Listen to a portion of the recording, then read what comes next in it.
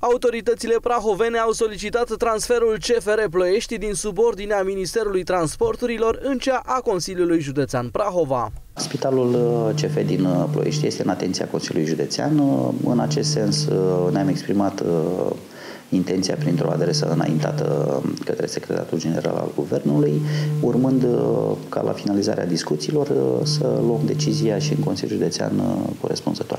Planurile executivului județean în ceea ce privește Spitalul CFR sunt de a-l dezvolta și de a crește calitatea actului medical. Este de a-l îmbunătăți și a-l dezvolta mult mai mult față de cât este acum. Precum uh, avem uh, în dezvoltare și spitalul județean actual și în acest spital, în momentul în care îl vom prelua, vom vedea de ce este nevoie și să creștem uh, calitatea actului medical în cadrul acestuia.